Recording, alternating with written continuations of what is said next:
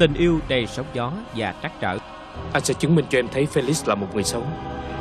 Anh ta sẽ không thuộc về trái tim em. Melissa và Eva là gia đình của con mà Chúng ta không thể quay lại cuộc sống như ngày xưa sống mà Những mâu thuẫn và giằng xé trong nội tâm Sau khi ước gì Roberto bỏ rơi mình trong lễ cưới Lại bất chợt hiện về như vậy chứ Em vẫn còn oán giận về cái ngày mà anh ấy bỏ rơi em Những lựa chọn và quyết định khó khăn. Roberto không phải là người duy nhất có lỗi. Melissa cũng có lỗi khi dám quyến rũ Roberto. Tình cảm chân thành một lần nữa bị phản bội Em không còn yêu anh nữa sao? Nhưng anh thì... Anh vẫn còn yêu em nhiều lắm.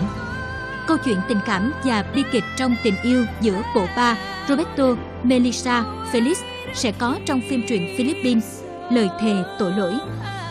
Phim được phát sóng vào 21 giờ 15 phút thứ hai, thứ ba, thứ tư, thứ năm, thứ sáu và chủ nhật hàng tuần trên sóng truyền hình Tiền Giang bắt đầu từ ngày 2 tháng 6 năm 2016.